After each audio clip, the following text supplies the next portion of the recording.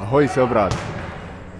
mul on teie abi vaja, sest kakskümmend viis november rõõmufestival Teras Beachil vajab rohkem ja ägedaid inimesi siia kokku, nii et kui sind kõnetab see elustiil, et olla rõõmus kainena, tunda rõõmu pisiasjade üle, rõõmustada kaine peaga siin olles, nautides tantsimist, muusikat ja toredate inimestega koos olemist, siis palun jaga.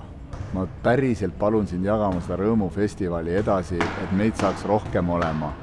et meil saaks veel lõbusam olema ja et see rõõmufestival saaks ikka ja jälle jätkuma ja jätkuma ja jätkuma, nii et sõbrad, palun jagage. ma olen südamest ette juba teile tänan, tänulik, nii ja kohtume siis siin, kakskümmend viis november kell üksteist, Teras Beats, rõõmufestival